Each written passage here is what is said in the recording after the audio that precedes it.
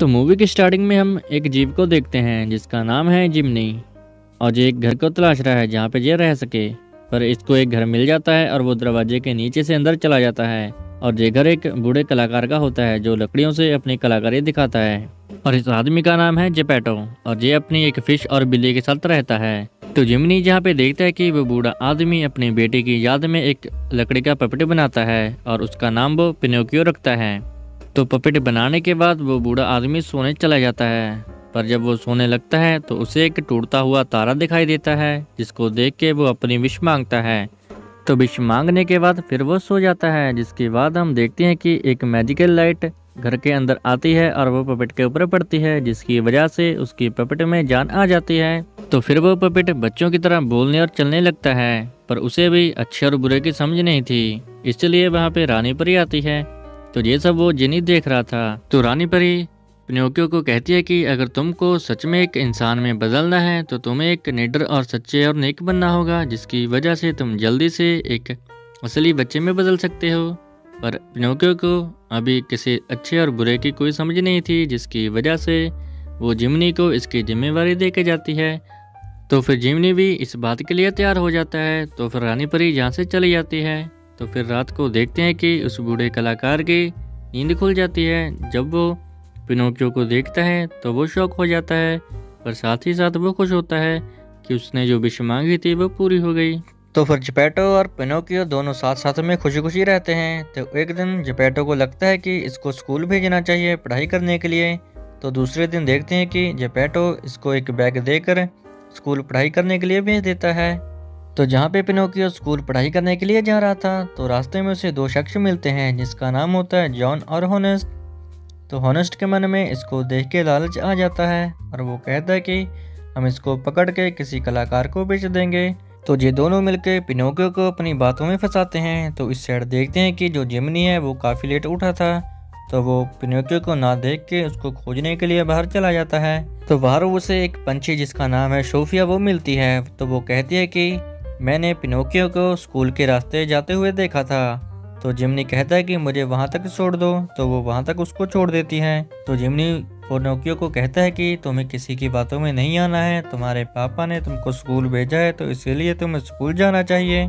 पर जब Pinocchio school चला जाता है तो वहाँ का हेडमास्टर उसे लात मार के बाहर से निकाल देता है और वो कहता है कि ये स्कूल ह्यूमन के लिए है, ना कि किसी पपट के लिए। तो देखते हैं कि जिमनी भी पीछे पीछे स्कूल आ रहा था, पर पीछे से ऑनेस्ट और जॉन मिलके उसे एक प्लास्टिक के जार में बंद कर देते हैं और वहाँ से चले जाते हैं, पर जिमनी वहीं पे फंस जाता है।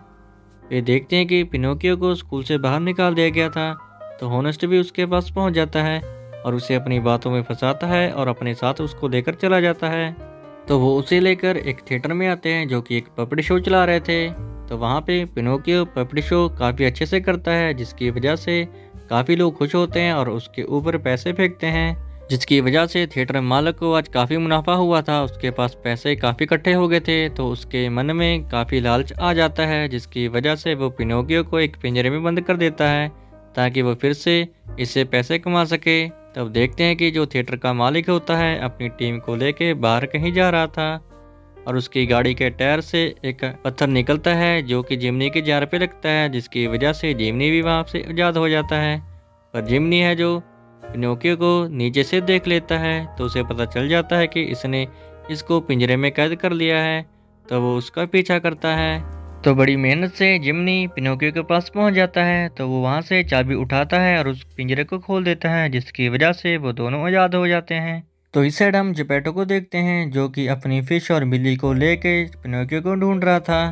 तो पिनोकियो भी रास्ते में भागते हुए अपने घर की तरफ़ जा रहा था, पर रास्ते में काफ़ी सारे लोग मिलते हैं, जो कि पिनोकियो को घींच के अपने कोच में बिठा लेते हैं। तो पिनोकियो देखता है कि यहाँ पे तो काफ़ी सारे बच्चे हैं तो कोच मास्टर कहता है कि मैं इन सबको प्लेजर लैंड लेके जा रहा हूँ, जहाँ पे ये काफ़ी मस्ती करेंगे।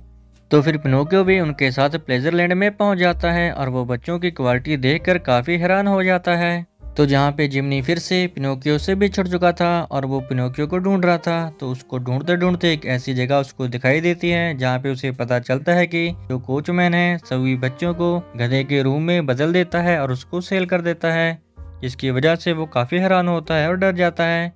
और उसे पिनोकियो की चिंता होने लगती है। तो इसके बाद हम पिनोकियो को देखते हैं, जो कि लैम नाम के बच्चे के साथ रह रहा था। तो पिनोकियो देखता है कि जो लैम है, वो धीरे धीरे गधे के रूप में बदल रहा है। ये देखकर पिनोकियो काफ़ी हैरान हो जाता है और वो लैम को बताता है। ये देख के लैम काफ़ी डर जाता है और चारों तरफ़ भागने लगता है। तो फिर वो पिनोकियो नोटिस करता है कि वो भी धीरे धीरे गधे के रूप में बदल सकता है। तो जहाँ पे जिमनी भी पहुँच जाता है और वो पिनोकियो को वहाँ से निकालता है और बाहर की तरफ़ भागने लगते हैं, जो कोच मैन होता है वो उनको देख लेता है और उनका पीछा करने लगता है। पर ये दोनों जाके एक नदी में कूद जाते हैं।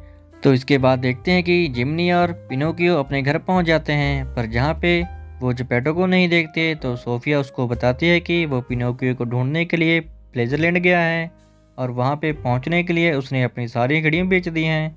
तो ये सुन के पिनोकियो एक डिसीज़न लेता है कि हम दोनों जपेटो को ढूँढने के लिए जाएँगे और वो जपेटो को ढूँढने के लिए निकल जाते हैं। तो सोफिया जहाँ पे बताती है कि जो जपेटो है, वो समुद्री रास्ते से गया है। तो जिमनी और पिनोकियो सोफिया की मदद से समुद्र में जपेटो को ढूँढने के लिए चले जाते हैं। फिर वो जपेटो को वहाँ पे देख लेते हैं और वो जब मिलने वाले थे तो बीच में एक बड़ा समुद्री मॉन्स्टर आ जाता है, जो कि जपेटो और पिनोकियो को निगल लेता है। पर सोफिया और जिमनी दोनों बच गए थे और ये बाहर ही रह गए थे। तो इसके बाद हमें मोस्टर के अंदर का सीन दिखाया जाता है, जहाँ पे जपेटो और पिनोकियो दोनों फंसे हुए थे। तो जहाँ पे पिनोकियो को एक आइडिया आता है और वो मॉन्स्टर के पेट में आग लगा देता है, जिसकी वजह से उसे छींक आती है। छींक जब आती है तो वो दोनों को बाहर फेंक देता है। पर वो पीछे देखते हैं कि जो मॉन्स्टर है, उनका पीछा नहीं छोड़ता और वो फिर से उनके पीछे लग जाता है।